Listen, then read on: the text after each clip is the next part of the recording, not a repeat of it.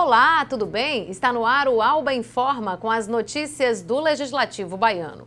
O livro Caixa Postal do escritor Cláudios Portugal e da artista plástica Vanessa Girardi foi lançado na noite de ontem no Rio Vermelho, aqui em Salvador.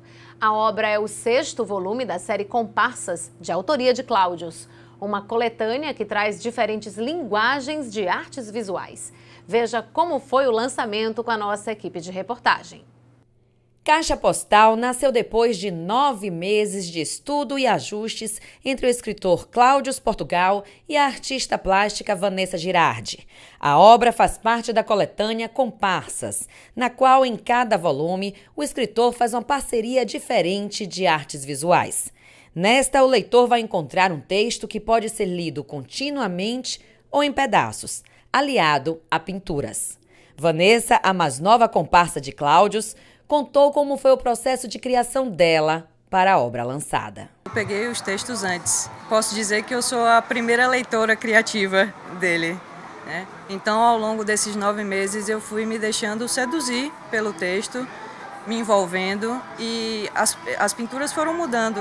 É, foram muito mais pinturas do que o que aparece no livro. E também foi um processo de. As, as imagens foram mudando à medida que eu ia ganhando intimidade com os textos. Existem combinações feitas para dar certo. Na bossa nova, a voz e o violão. Na bebida, o limão com o gelo. E nas páginas de caixa postal, textos e pinturas se unem e fazem uma ligação perfeita e singular para falar de amor. Para Cláudios, em tempos difíceis de disseminação de ódio, é preciso falar de todas as formas do sentimento diretamente oposto. É um livro que o tema é a construção e a desconstrução de um cotidiano de uma relação amorosa, desde o que antecede a relação, a relação em si e ao término da relação. Você, o caminho que é da vida mesmo, né? Você através dessa relação amorosa muito mais uma relação de paixão do que de amor em si. Uma época que a violência graça, né? Então, falar de amor é sempre bom. A artista plástica Nair Carvalho, viúva do também artista Genaro de Carvalho, fez questão de garantir um autógrafo.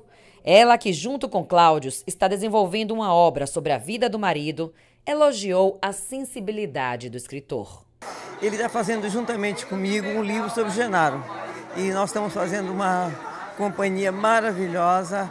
Eu estou achando que vai ser um livro belíssimo, belíssimo. Já está no final, já estamos no final. E ele tem uma, uma sensibilidade muito grande para pegar a história da pessoa. Né?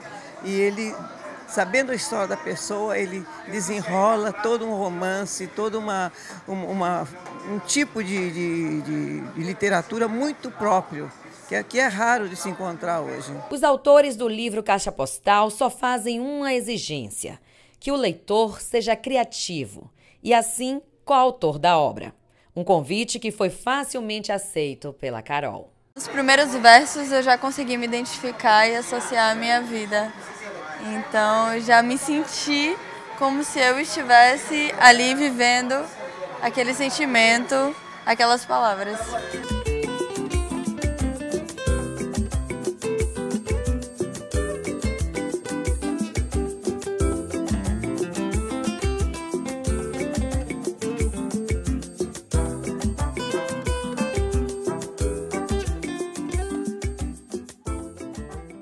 Siga a nossa programação e fique sempre bem informado. Lembrando que você pode rever as matérias e acompanhar todo o nosso conteúdo nas redes sociais e também nesse site aqui, o site da Assembleia, al.ba.gov.br.